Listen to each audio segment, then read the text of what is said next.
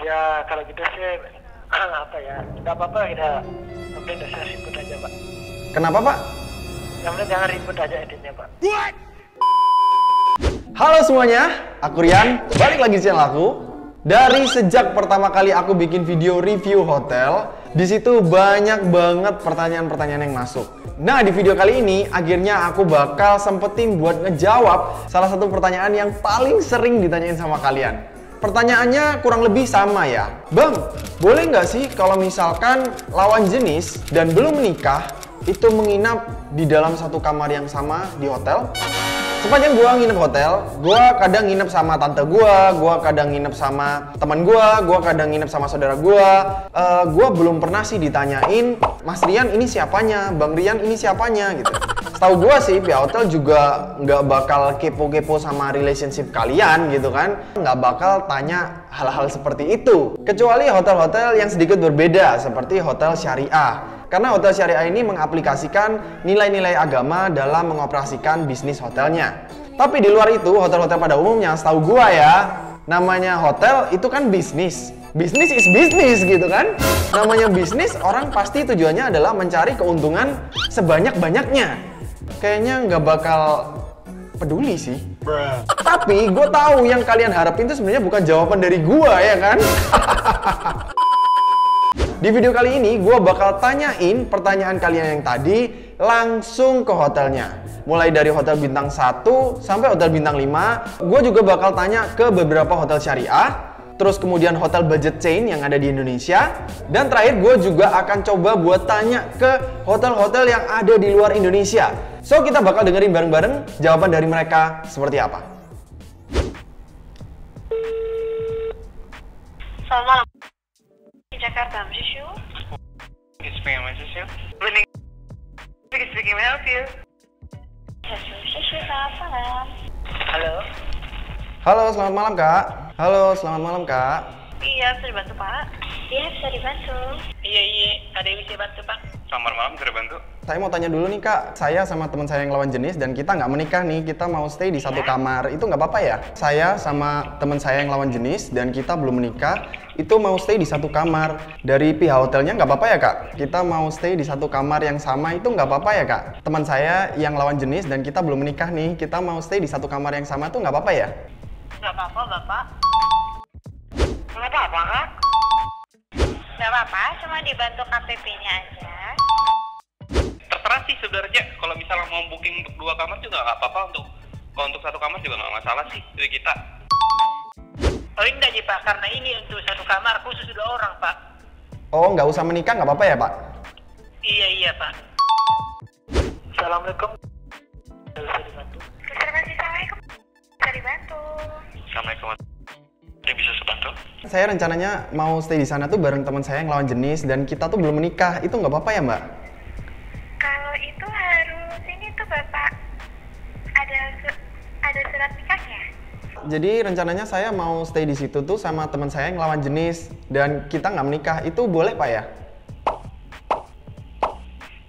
kalau sebenarnya sih nggak boleh sih pak tapi kalau beda kamar pak Jadi kan rencananya nanti saya mau stay di sana sama teman saya yang lawan jenis dan kita belum menikah nih. Boleh kan pak? Temennya cewek pak? Iya perempuan pak. Kalau proses check-in hanya ini aja menunjukkan ID card-nya aja, KTP-nya aja sih, Pak. Kalau misalkan di satu kamar belum boleh ya pak? nggak nggak boleh pak ini hotel syariah kebetulan Jadi mohon maaf kalau misalkan pasangan yang belum menikah itu nggak boleh ya mbak? Oh begitu. Jadi nanti waktu proses check in diminta apa gitu pak? mungkin buku nikah aja Ya kalau gitu sih apa ya nggak apa-apa kita mungkin saya ribut aja pak. Kenapa pak? Yang penting jangan ribut aja editnya pak.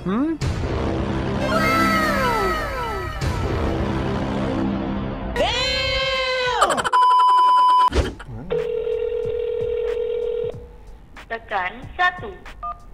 Halo? Halo? Tekan dua. Tekan satu untuk bahasa Indonesia, press 2 for English. halo selamat malam Halo, selamat malam kak. Bisa dengar suara saya? Halo, selamat malam. selamat malam Halo. Ada yang ingin ditanyakan terkait Baik, untuk peraturannya tergantung di tergantung pada hotelnya, Bapak. Ah. Oh, jadi tiap hotel beda-beda gitu, Pak ya? Betul sekali, Bapak. Untuk layanan dalam bahasa Indonesia, tekan 2. Untuk nama hotelnya syariah, Ah, itu ah. dipastikan tidak bisa Bapak ah. jika eh, pasangan yang belum menikah. Namun untuk yang namanya tidak ada syariahnya itu biasanya bisa. Baik, dengan siapa saya berbicara, Pak? Dengan Rian, Pak. Jika memang di aturannya tidak dituliskan Ah. mengenai aturan untuk pasangan Ah. dalam satu kamar, dengan demikian hotel tersebut menerima tamu yang tidak yang belum menikah untuk tinggal dalam satu kamar. Aplikasinya Pak, untuk pasangan boleh atau tidaknya seperti itu. Oh, Oke, oke, iya. Namun untuk yang syariah itu memang harus menunjukkan untuk bukti nikah, Pak Rian. Dan di situ akan dituliskan jika memang pasangan yang belum menikah bisa atau tidak bisa menginap di kamar yang sama, Bapak. Good evening. Kuala Lumpur, how may I assist you? สวัสดีค่ะ Bangkok. Please dial the extension number you require or press zero for the operator. Thank you. Thank you for calling. Okay, Mrs. Yu. Halo?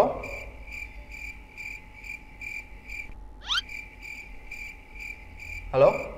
Halo? Good evening. Who's speaking? Hello, good evening, sir. calling Kuala Lumpur reservation. My name is Dee. May I have your name, please? Oh, Mrs. Xu สวัสดีค่ะ ฟันเดส speaking ค่ะ So I'm planning to stay in there with my friends, and she's a girl, and we're not a married couple. Uh, was that okay with the hotel, or we should stay in two different rooms? Oh, i- it's okay to stay in the same room. Yeah, actually, uh, that will be okay, actually. No problem, no problem at all. It's, it's okay for you and for her. It's no problem to us. Mm. Because I heard that your hotel is uh, Shari, right? Ah, yes, but Sharia, but but uh, as, uh, we don't ask anything about that marital ID or, or some something about that. Hmm.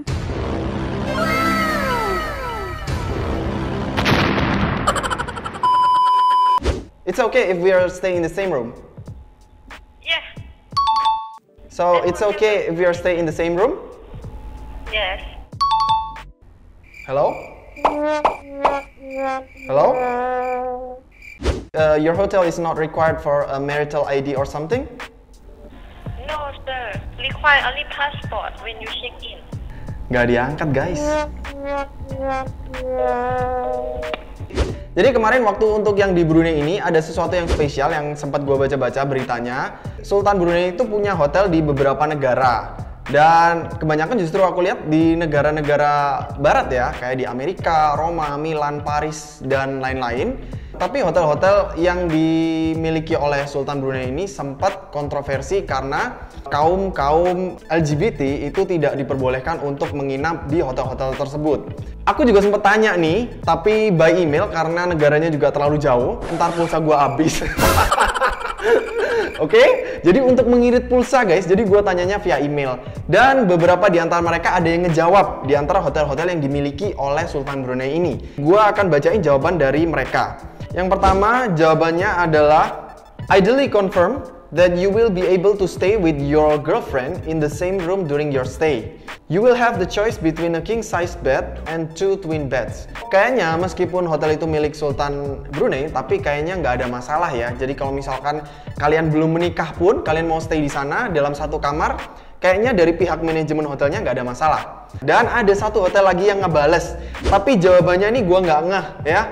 Mungkin kalian bisa bantu aku deskripsiin di bawah arti dari balasan email pihak hotelnya ini ya. Karena jawabannya itu cuma tiga huruf guys. F Y A. Mungkin di antara kalian ada yang tahu artinya dari tiga huruf tadi. Kasih tahu gua di komen di bawah. Ada beberapa negara yang gua telepon tapi nggak ngangkat-ngangkat sampai gua capek. Ya udahlah ya, mungkin next time kalau misalkan ada kesempatan lagi, gua bakal cobain buat bikin video yang part 2-nya, oke? Seperti biasa, kalau misalkan kalian suka dengan video ini, jangan lupa klik jempol ke atas. Please kasih tahu aku di bawah pertanyaan apa lagi yang harus aku tanyain ke hotel-hotel yang tadi. Dan seperti biasa, kalau misalkan kalian masih ingin nonton video-video aku berikutnya, jangan lupa klik tombol subscribe Nyalain juga lonceng notifikasinya supaya kalian dapat notifikasi ketika aku upload video baru. Dan follow juga Instagram aku di @mamatravel untuk dapetin update-update selanjutnya dari aku. Oke, that's it guys. Thank you so much for today and see you guys in the next video. Bye-bye!